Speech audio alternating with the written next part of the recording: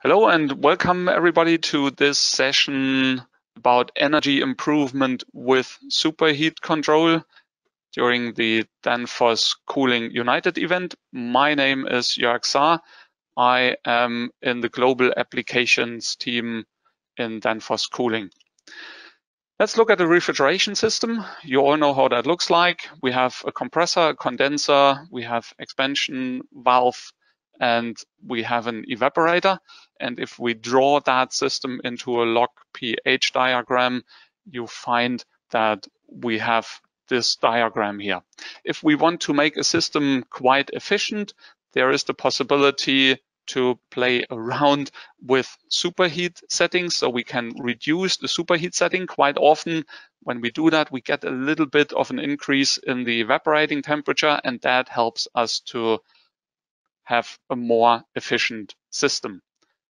The question is, of course, how much can we reduce the superheat? Several tests have been done in the past already. And as you can see on this graph here, there is a best superheat when you reach the optimum efficiency. When you go below that superheat, the efficiency decreases again. Here's an explanation why that is. We look at an evaporator here. The evaporator is filled with a mixture of gas and liquid that evaporates in the evaporator. At the end of the evapor evaporator, we have an area where we generate the superheat. And in this case, gas leaves the evaporator. We have a dry gas leaving the evaporator, a stable superheat of, let's say, 5 Kelvin.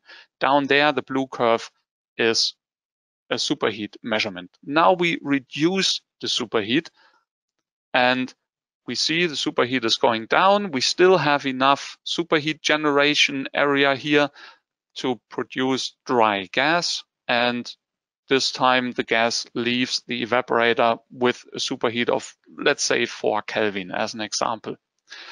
Let's go and reduce the superheat even further. Now the refrigerant leaving the evaporator is a mixture of gas and some droplets. What happens now is that the droplets hit the wall of the pipe leaving the evaporator and evaporate there. And that gives instabilities in superheat measurement. So the superheat measurement goes up and down whenever a droplet hits there and evaporates. And that's the point where we should stop reducing the superheat because now we are unstable droplets leaving the evaporator. Now we should increase a little bit again to come back to a stable superheat. But for the purpose of not doing that, let's go and reduce even further just to show you what can happen. If we reduce the superheat even further, many more droplets come out of the evaporator here. And all of a sudden, when you look at the superheat measurement, that can look like it is stable again. But now it is stable wet gas leaving the evaporator, which is not good. So it is misleading. You don't have dry, stable superheat. It is really misleading because many, many droplets come out of the evaporator this stable measurement can come from sensor tolerances because now we have in fact zero superheat, but the measurement can come from sensor tolerances. If we reduce even further because you think you are you are on a stable dry superheat, then you get real, a lot of liquid out of the evaporator and that needs to be avoided. How to avoid that? We come to a theory that has been developed, and that theory says there is an area where you have the possibility to have a stable superheat control when you have dry gas coming out of the evaporator. And when you reduce the superheat further, droplets come out, you can no longer really measure something stable and you can no longer control something. In the 1960s, 70s, many measurements have been done and a theory has been developed, which is called MSS, which stands for minimum stable superheat. That theory says that every evaporator has a certain curve and that looks like this one. On the left-hand side of that curve, you cannot have a stable control. On the right-hand side, you can have a stable control. That curve looks different for every evaporator. It depends on the load, on the evaporating temperature, on the airflow across the evaporator, on the evaporator design, so the coil design. It's really kind of a fingerprint for every evaporator. This curve you see on the screen is just one example.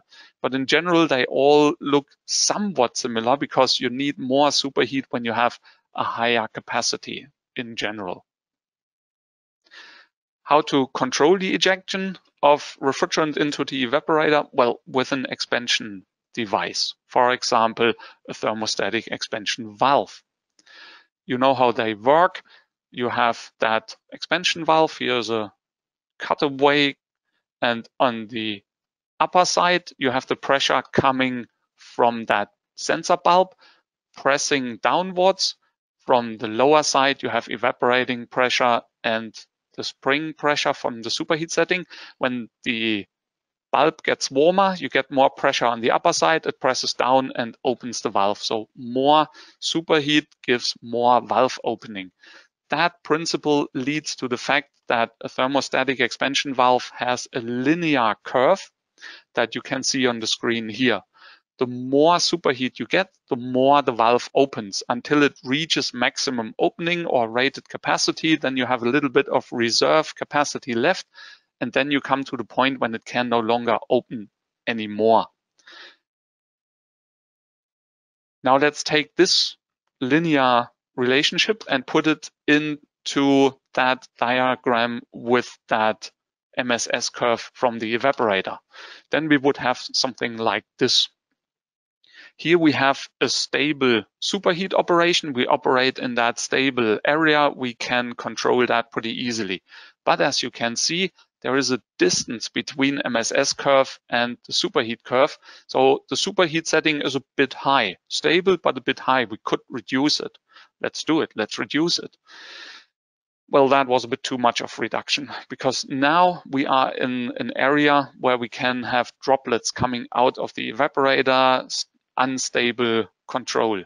That means we need to increase the superheat setting a little bit again that's what we've done now. And now we have a really good superheat setting close to the MSS curve. We have good utilization of the evaporator. We have a safe operation. We have a good efficiency of the system. The expansion valve you see here on the picture is a Danfoss TU expansion valve, quite a unique expansion valve in the market. To get some more information about that expansion valve, here is a short video about the TU valve. There is a background music usually in that video, which you can not hear now probably.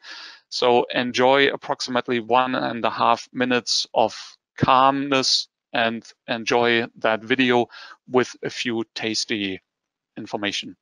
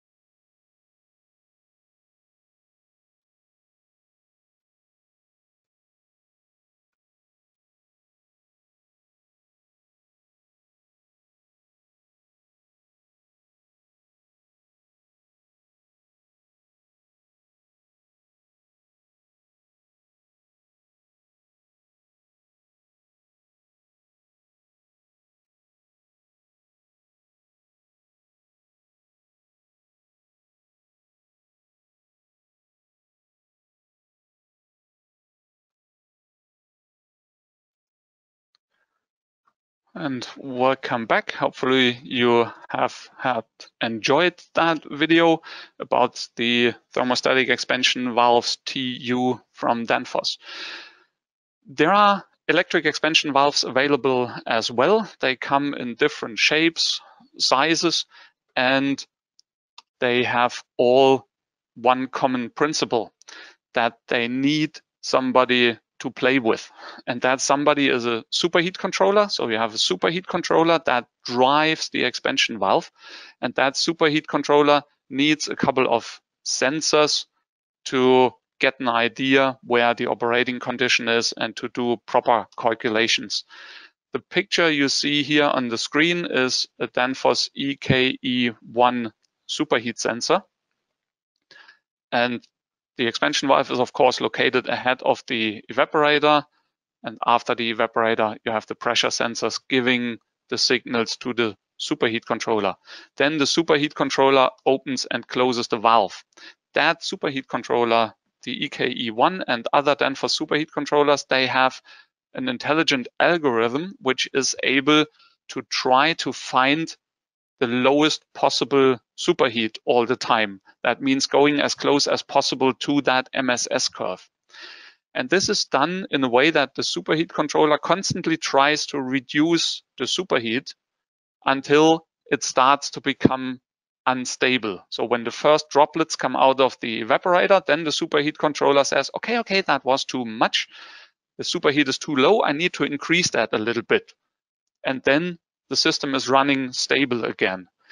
Well, after some time, the superheat controller says, you know what, now it's running stable all the time, but maybe I can reduce it a little bit further. Maybe something has changed a little bit and, and now I can have a lower superheat. And it starts to try to reduce it again until it comes to the point of instability, increases a little bit again, waits and tries to reduce again.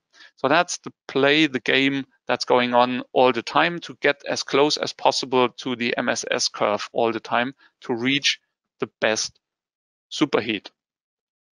Electric expansion valves, they have two design principles. One principle is PWM, stands for pulse width modulation. Another design principle is the stepper motor driven valve you will have the possibility to see two videos now shortly explaining how which valve works. This time you're going to hear me talking whilst these videos are playing and then you get some information how these valves work. Let's start with the stepper motor valve, the example of a Danfoss ETSC, so the ETS Colibri valve. A very compact hermetic valve here the valve opens and you see the inner parts. There is the motor, there is a spindle that you can see, and that spindle is driven by the motor going back and forth, opening these expansion holes here where the refrigerant expands. There is, of course, um, as mentioned, a very compact design, so you can get quite a lot of capacity into that valve. Here is a, a short uh, sequence from the production of these valves showing that they are laser engraved.